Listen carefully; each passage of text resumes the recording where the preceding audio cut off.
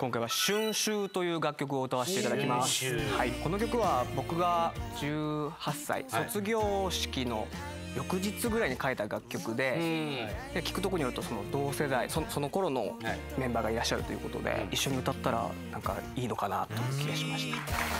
そんな春秋を一緒に歌うメンバーはこちらの4人。まさにね2人は。そうですね。いろりとキッキはこの春に高校卒業したんで。この曲は川崎選手と先生がめっちゃ好きで、あそうなんだ。歌詞がめっちゃ良くて、大丈夫だよってこう寄り添ってくれるようなすごい優しい楽曲で、10代の頃にずっと聴いていた曲で自分とすごく重ね合わせながら聴いていた曲なので心にずっと残ってる曲です。青春という青春ってそんなしてなかったなと思うんですけど、